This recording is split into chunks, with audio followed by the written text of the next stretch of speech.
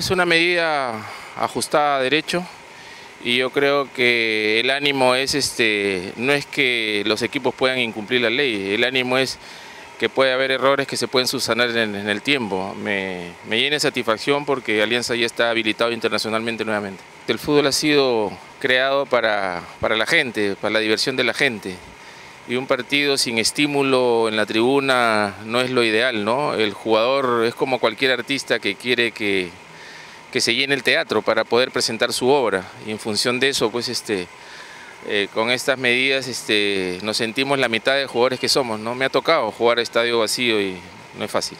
Parece lo más justo y lo más sensato, creo que, que el hecho que de repente algunos hayan hecho su molestia de, alguna manera, no, no, puede involucrar a los demás que, que si vienen y tienen un comportamiento ejemplar, ¿no? Entonces, como te vuelvo a repetir, es lo más justo. Nosotros necesitamos siempre el respaldo del público, eh, la afición de Alianza es la más fiel, eso, eso no cabe duda, y, saber que, que, dentro de los objetivos que, que se están por cumplir, eh, también tenemos ese, que ya se levantó el castigo. ¿no? Creo que siempre es bueno que quede como enseñanza y, bueno, y que sirva. Creo que, ahora lo, positivo es eso, que se levantó la sanción y que Alianza pueda jugar ahora de, de local cuando tenga una competición internacional.